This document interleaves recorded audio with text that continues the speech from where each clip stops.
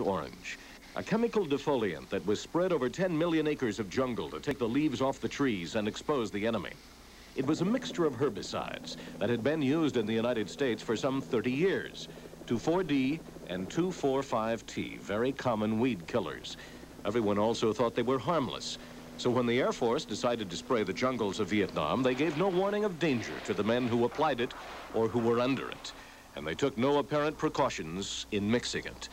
Only after the war, when they measured the chemicals inside, did they realize they had concocted the most powerful defoliant ever with the highest mixture of dioxin ever. Dioxin is a contaminant that results from the manufacture of 2,4,5-T. It is the most toxic substance made by man. The amounts in Agent Orange were 500 times and more greater than had ever been used in the United States. The history of Agent Orange in Vietnam is controversial. Vietnamese complained of birth defects they felt were caused by it. And the U.S. government also found birth defects in laboratory animals. So it was suspended for use in 1970. But no one realized that our own men were also being exposed to the defoliant. Two years ago, Maude DeVictor, on her own, categorized the symptoms of the veterans and came to us.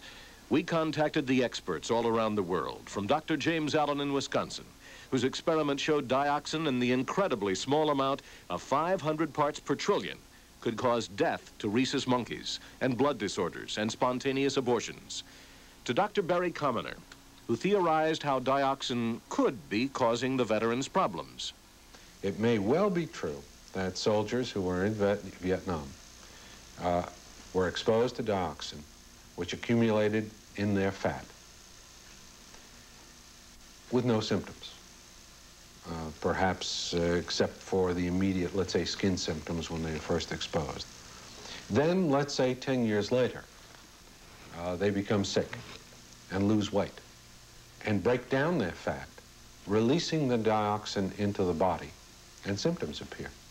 It turns out Dr. Commoner was probably right. After two years of these reports and the efforts of other journalists who picked up the story and spread it around the world, of veterans who made it the number one issue among the Vietnam returnees, tests were conducted by the Veterans Administration. The first at Hines VA Hospital near Chicago. They would put Dr. Commoner's theory to the test and take fatty tissues from veterans, then test the tissue for traces of dioxin. The likelihood of finding anything was small. The chemical was not expected to stay in the body for 10, 12 years after exposure. Chemical companies insisted it could not persist that long. But the VA found dioxin. It was found in the fatty tissues of 10 men out of 22 analyzed. Those men had been in Vietnam. A control group of 10 others were also tested who had not been in Vietnam.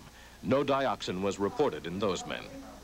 The VA doctors said the amount found from 3 to 57 parts per trillion was so small, it was impossible to place significance on the findings. But our scientists can place a significance. Dr. Barry Commoner said if the figures are correct, it confirms his speculation of two years ago, that dioxin accumulated in the veterans' fatty tissues.